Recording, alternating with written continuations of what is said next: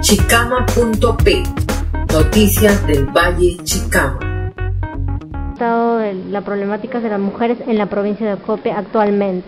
Bien, este, bueno, agradecerles este espacio, ¿no? Y como usted lo dice, la problemática que todos nosotros como Ministerio de la Mujer y Población Vulnerable este, atendemos todo lo que es este, la temática de violencia familiar sexual, ¿no? que el año pasado se ha incrementado con respecto al año 2010 en 2011 hemos tenido un promedio de 304 casos de violencia familiar, de los cuales el 75% correspondía a femenino y el 25% masculino. Y entonces nos podemos dar cuenta que aún sigue la incidencia en lo respecto a la violencia hacia la mujer. ¿Qué es lo que está pasando dentro de los hogares?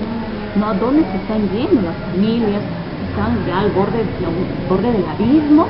Entonces, como ministerio, justo hoy en la mañana hemos tenido un encuentro, el primer encuentro con adolescentes unidos contra la violencia familiar y sexual, donde hemos tratado de informar, sensibilizarlos acerca de esta problemática de violencia desde la etapa del enamoramiento.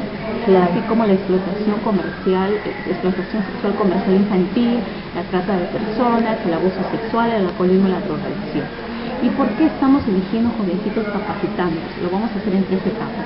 En esta primera, en este encuentro provincial que se llevó a cabo el día de hoy, el segundo encuentro va a ser en el mes de junio y el tercer encuentro en el mes de septiembre. Para, para que hagan el efecto multiplicador de las instituciones educativas de la cuarta tierra.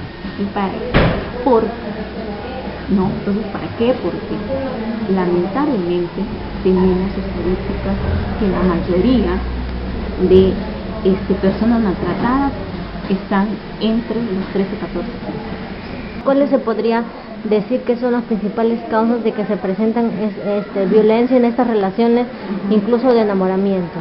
Las causas. las causas es el machismo y la demasiado que el varón a veces quiere sobreproteger, controlar a la chica. No, de repente comienza a prohibir ciertas cosas, comienza a acosarlas con las llamadas, con los mensajes, a tener celos por cualquier cosa y a veces muchas jovencitas desconocen que esos son señales de alerta de un posible agresor. Claro, y se podría decir que en todo caso este eh, esto de acá se agrava, es incluso más si ya se forma un núcleo familiar, ¿no? Exacto, si hay un núcleo familiar y a veces que esa violencia se inició desde la etapa enamorada, desde que tuvieron 15, 16, 17 años, a los 20 años se comprometieron, vienen los hijos y la mujer sigue soportando la violencia física, psicológica, inclusive a veces sexual. Los hijos presencian la violencia o son también víctimas de maltrato infantil. Acá tenemos el 61% del total de 304 casos del 2011 son a niños y adolescentes de 0 a 17 años. Mujeres a personas adultas, perdón, tenemos el 36%. Y este año 2012 tenemos 45 casos entre enero y febrero. De los 45 casos, igualmente el 64% son niños y adolescentes y personas adultas tenemos el 36%, de los cuales masculino tenemos 31% y femeninos 69%. Y con lo que respecta, por ejemplo, a, violen a violencia este, familiar, estamos hablando, ¿cuántos qué, cuántos tipos de, de, violencia se pueden presentar? Entre los, le voy a dar más o menos estadística de, de lo que es este, en este año 2012, tenemos que de violencia sexual pues, ha sido un poco baja este, en, dos meses, ¿no? 9%, tenemos de la violencia psicológica 33% y la violencia física 58%. ¿Qué quiere decir? Que hay un alto índice de agresores que maltratan ya sea físicamente a sus parejas a través de los golpes, las patadas, los puñetazos, los jalones de cabello, eh, llegan todas moreteadas, todas lastimadas, etcétera, Y también en violencia psicológica tenemos el 33%, pero ojo, esta violencia psicológica es la más grave debido a que daña la autoestima de la persona. Y en lo que respecta a 2011, ¿cuál es el distrito donde se presenta mayor cantidad de violencia? Entre los distritos que tenemos con mayor prevalencia está Casa Grande, hemos tenido con 90 casos, lo que es el distrito de Chocope con 81 casos y Paiján con 54 casos.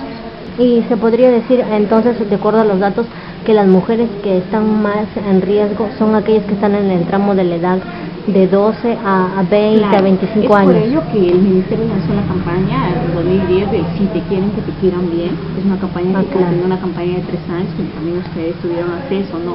Tienen una baja autoestima.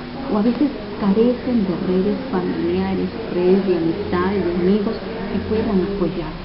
O de repente desconocen, ellas fueron de repente víctimas de maltrato infantil o presenciaron que su madre las golpeaba, entonces piensan que ella debe ser la sumisa, ella debe obedecer a marido en su aspecto, el marido la grita, la otra ella debe callar. Lamentablemente es parte también de la cultura y desgracia de nuestras mujeres de nuestro país, de la zona rural. Y también manifestó que habían casos de hombres que también son maltratados. Claro, digamos, con respecto a la estadística que le he mencionado del sexo masculino se refiere a los niños, niños y adolescentes varones que están siendo víctimas de maltrato infantil.